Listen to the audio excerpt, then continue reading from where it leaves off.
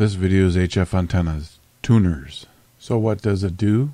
How does it work? How do I use it? And why do I want one? What an antenna tuner actually does is it tricks the radio into thinking that it has a perfect antenna attached to it. In a perfect world, we could literally connect the radio to the SWR bridge to the antenna, and everything would work perfect. But unfortunately, we don't live in a perfect world. There is where an antenna tuner can help. The antenna tuner can broaden the bandwidth of your antenna. It can also help you tune your coaxial fed dipole that isn't quite perfect because of the environment that it's in. Some tuners can actually tune all kinds of stuff due to multiple antenna outputs. They can tune a 450 ohm ladder line dipole. They'll even let you tune the fence in your backyard. They'll even let you tune up a flagpole or a soccer backstop, but you can't really tune a fish. So what does a tuner actually do? Well, it actually transforms similar to the adapter that you plug into the wall to charge your cell phone with, where the power adapter takes 110 volts and changes it into about 5 volts.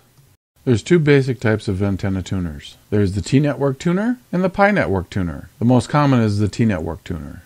The T-network is a very simple system. It uses a coil to ground, a capacitor to the radio, and a separate capacitor to the antenna. So what's it look like inside? We have the coil to ground, we have the capacitor going to the radio, and the capacitor connected to the antenna. The proper way to connect an antenna tuner is to go from the radio to an SWR bridge to the antenna tuner, then to the antenna. Okay, let's tune this baby up. First of all, we're going to take the antenna tuner and we're going to take the antenna knob and the transmitter knob and we're going to put those straight up and down. The next thing is to turn on the radio and find a frequency that's not in use. Next, what we need to do is turn the roller inductor until we get to the loudest volume. At this point, make sure that your transmitter is on AM.